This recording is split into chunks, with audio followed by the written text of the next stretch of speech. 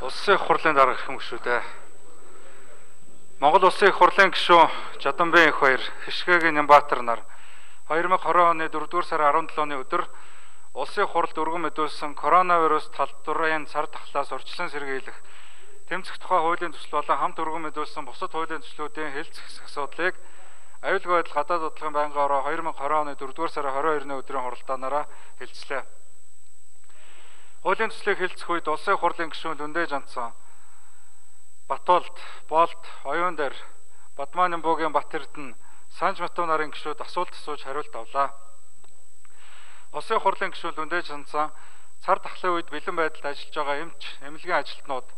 төрийн албан хаагчдад моргежийн нэн хөнгөлөлтөд зээл олгох, орон гэргүү нэн ядуу иргэдийг зайлшгүй хэрэгцээд хоол хүнсээр хангах, хүнсний талооны тоог нэмэгдүүлэх шаардлагатай. Улсын хурлын гишүүн Батулд хуулийн төслийг дэмжиж байгаагаа илэрхийлээд цар тахлаас урьдчилан сэргийлэх, хамгаалах, аюулгүй байдлыг хангах, эдийн засгийн хамрал, ажилгүйдэл зэрэг гарчуулах эрсдлийг тооцсон цааш тэрэгжүүлэх цогц арга хэмжээ, бос улсын сайн жишгийг хуулийн төсөлтөд тусгах. Улсын хурлын гишүүн болд гадаад улсад байгаа иргэдэд татан авчрах, үе шаттай ямар арга хэмжээ авах, үр дүнтэй ач холбогдолтой хууль гаргах Улсын хурлын гишүүн оюун дээр цар тахлан Сэлэнг аймгийн Алтан булаг хөлийн боомтоор гаднаас зөөвөрлөгдөн орж ирж байгаад анхаарч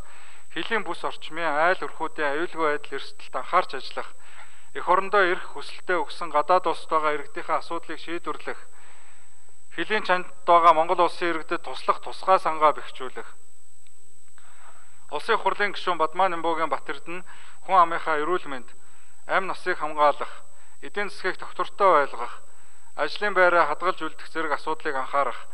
онцгой үеийн дэглэм хариуцлагын асуудлыг бүх шат талдаа хэрэгжүүлэх, улсын хурлын гишүүн Санж Матуу хуулийн төслийн зарим заалт бусад хуультай зөрчилдөхгүй байгаад байхад анхаарах, нэгтлэх.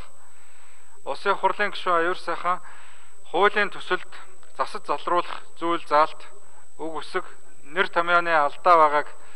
анхаарч хилцүүлгээ үед засч ажиллах шаардлагатай байна гэсэн саналуудыг тус тус гаргасан. Байнгын орооны хуралдаанд оролцсон гишүүдээ олон хуулийн төслийг үзэл баримтлалын хүрээнд хэлэлцэх хэсэх асуудлыг дэмжиж чуулганы нэгдсэн хуралдаанаар хилцүүлэх нь зүйтэй гэж үзсэн болно. Улсын хурлын эрхэм гишүүдээ коронавирус талдварын цар тахлаас урьдчилан сэргийлэх тэмцэх тухай хуулийн төсөл болон хамт өргөн мэдүүлсэн эрүүгийн хуульд нэмэлт өөрчлөлт оруулах тухай, зөрчлийн тухай хуульд нэмэлт өөрчлөлт оруулах тухай, зөрчил хянан шийдвэрлэх тухай хуульд нэмэлт оруулах тухай, гамшигаас хамгаалах тухай хуульд нэмэлт өөрчлөлт оруулах тухай, эрүүл мэндийн тухай хуульд нэмэлт өөрчлөлт оруулах тухай хуулийн төслүүдийг хэлцэх асуудлыг аюулгүй байдал гадаад бодлогын байнгын орооны санал дүгнэлтийг хэлтсэн шийдвэрлэж өгөхийг та бүхнээс хүсэн анхаарал тавьсанд баярлалаа. За баяр сайхан гүшүүнд баярлалаа. За ажлын хэсэг хөрөлж ирсэн байна.